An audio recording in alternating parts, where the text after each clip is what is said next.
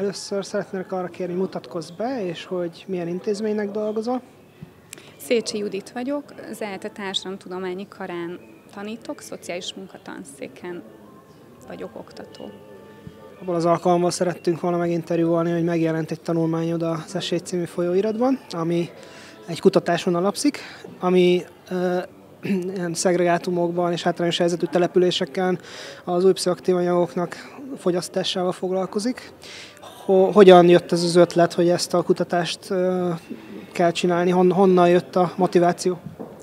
Hát mi nagyon régóta járunk vidékekre, mert hogy van a, a társadalomtudományi kar, tehát a szociális munkatanszéknek van egy olyan kötelező gyakorlata, ami első éveseknek szól, úgy hívjuk ezt, hogy szociotábor, és hogy velük nagyon sok, tehát hogy, hogy velük megyünk vidékeket kutatni, azt, hogy milyen ott a helyzet, főleg a gyerekek helyzete, és hogy hogyan élnek ott emberek. És hogy ez a, az ötlet úgy jött, hogy nagyon sok médiában jelent meg mindenféle hír arról, arról, hogy milyen nagymértékű az intravénás, a több generációs új pszichoaktív szer használat, de Ugyanakkor a médián kívül igazán megnézve ez szisztematikusan, vagy valamilyen fajta tudományos alapon, ha ezt annak lehet mondani, ez nincs. És arra gondoltunk, hogy legalább egy felderítő kutatást, egy olyan első, első benyomást nézzünk meg, amire majd lehet aztán tovább építkezni.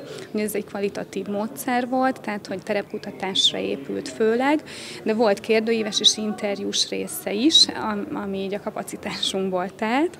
Tehát 30 hallgatóval mentünk le tavaly nyáron, és, és főleg megfigyelés volt a, a technika, tehát nálunk ez úgy van, hogy három-négy hallgató van egy településen, szegregátumokat választottunk, abszolút úgy választottunk, hogy, hogy volt oda ismerettségünk, tehát hogy úgy könnyebb volt, azt gondoltuk még felderítő kutatásnak ez jó, hogy, hogy megpróbáltunk úgy menni, hogy, hogy könnyebben tudjuk leszervezni a 32 fős tábort, és hogy van valamilyen kapcsolat jutottunk is oda.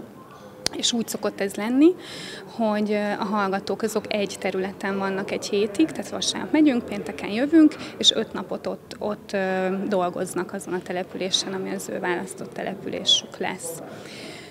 Kimondottan szegregátumokat akartunk nézni, azt is néztünk, és ott végigmentek, tehát hogy nem úgy történt, hogy reprezentatív minta alapján, hanem az a terület, ami szegregátumnak számított, ott mentek végig, nagyon szisztematikusan, minden házba bekopogva, függetlenül attól, hogy van egy gyerek, vagy nincs, akik a szegregátumban laknak, azokkal megcsinálni a kérdőívet, a kérdőív az egy ilyen általános helyzetképet mért, és volt benne egy szűrő kérdőív része, amiről be azt kérdeztük, hogy tud, ismernek-e bizonyos szereket, nem sokat, egy négyet, ötöt soroltunk, és hogy, hogy az ő tudomásuk szerint van-e a településen, ez volt a második kérdése a szűrőkérdőjének, és a harmadik pedig az, hogy ő személy szerint ismere olyat, aki használ ilyen vagy olyan illegális szert, és aki igen, azzal csináltunk, próbálkoztunk interjút készíteni. Tehát, hogy ez volt így a módszertana körülbelül ennek a kutatásnak. És mik voltak a kutatás eredményei? Mi a helyzet ezeken a településeken új pszichoaktív használ, kapcsán?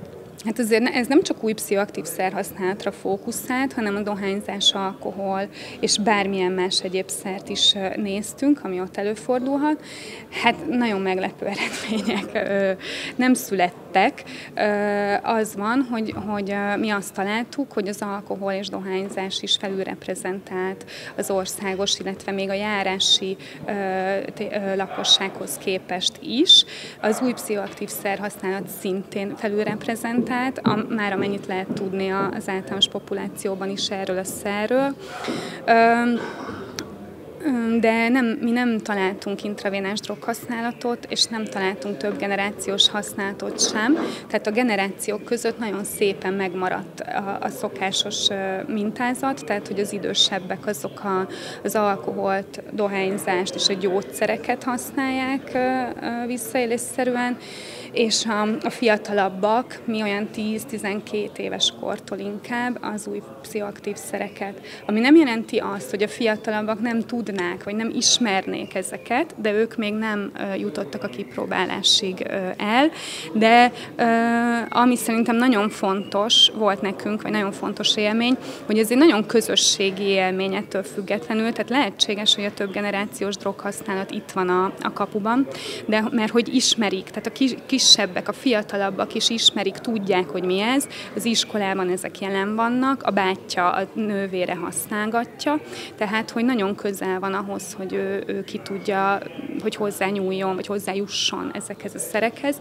Ugyanakkor a szülők is pontosan tudják, hogy mit csinálnak a gyerekek, tehát hogy nincs ez a fajta titkolózás, ami mondjuk a városi, vagy a vagy a nem mély szegény rétegekben jellemző, hanem hogy az interjúkban is, amikor a gyerekekkel beszéltünk, vagy a fiatalabbakkal, akkor a szülők jelen voltak, de hogy ez nem okozott semmilyen problémát nekik arról beszélni, hogy ők hogy, hogy használnak akár, hát ők fűnek mondják, de azért ez kiderült az interjú alatt, hogy, hogy ezek az új pszichoaktív szerek és a biofű meg a herbán használatra vonatkozik főleg. Számszerűen mekkora rétege érintett a, mondjuk a fiataloknak, ki kimondott, tehát mondjuk a középiskolásoknak? Uh-huh. Uh, hát középiskolás korúaknak, vagy középiskolában ritkán járnak ők, vagy nincsenek iskolák. Hát olyan 40% körül hallottuk ezt, de hogy azért nem nagyon nehéz számokat mondani, mert hogy ez egy kvalitatív kutatás volt. Tehát akit elértünk, és amit mondtak ott, abból, abból lehetett, tehát hogy ahogy ők satszolták, át itt mindenki, de mégis mennyi a fele. Tehát, hogy így ők, ők így, így határozták meg ezt a számot, ennél többet mi sem tudunk, ehhez egy sokkal pontosabb módszertani felmérés szükséges, ami remélhetőleg előbb-utóbb meg fog történni. Még arról beszél kicsit, hogy, hogy milyen problémákat jelent, hogy esetleg ezek előjöttek-e, hogy milyen problémákat jelentenek ezek a szerek a közösségeknek az életébe.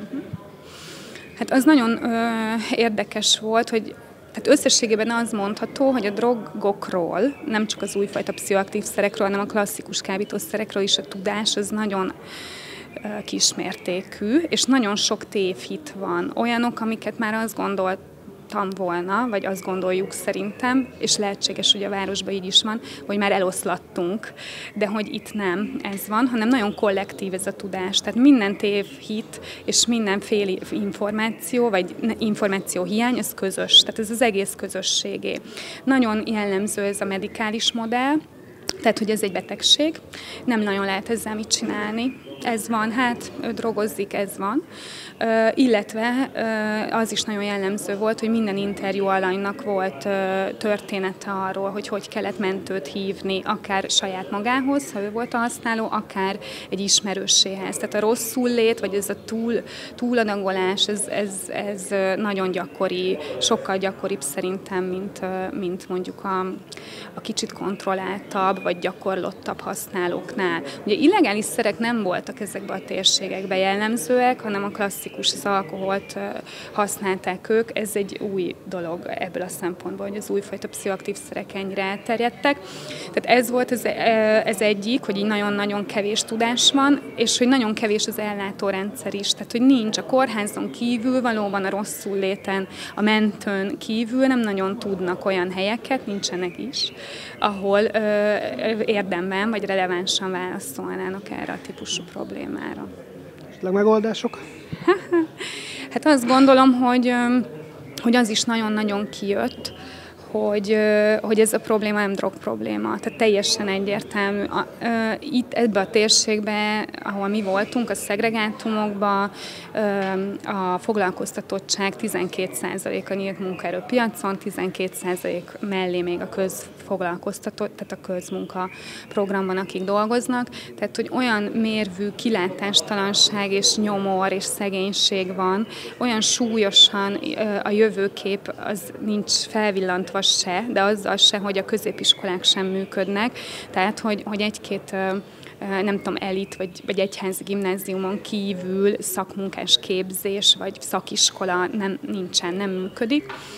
Tehát, hogy, és hogy ő előttük is a példa ez a munkanélküli vagy a közmunkában való foglalkoztatottság, és hogy ez, ez nagyon súlyos, ö, ö, mély problémákat és, és frusztrációkat okoz, ami egyébként melegágya mindenféle droghasználatnak, tehát nem csak az ilyennek, vagy az olyannak, hanem az alkoholnak is, meg az új pszichoaktív szereknek is, vagy bármi egyéb másnak is szerintem.